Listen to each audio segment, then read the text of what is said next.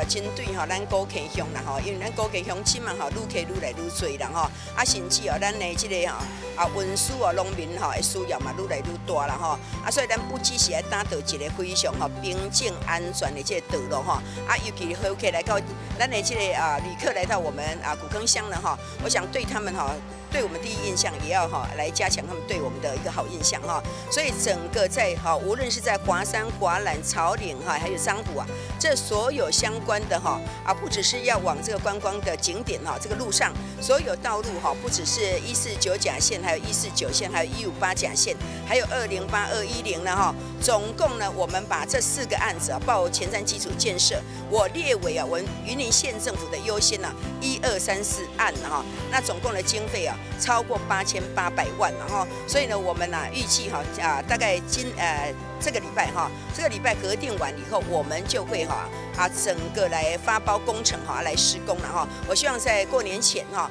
啊能够啊施工完成哈，能够迎接新的啊这些旅客哈来这里过新年，来这里赏樱花。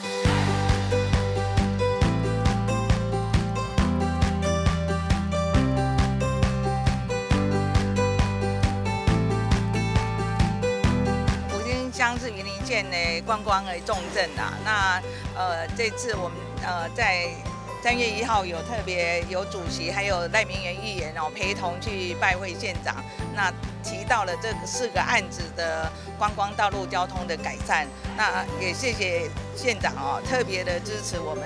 呃，把这四个案子往交通部公路局提报哈，希望来到古坑的游客可以享受比较享有比较好的那个交通动线，还有它的那道路品质。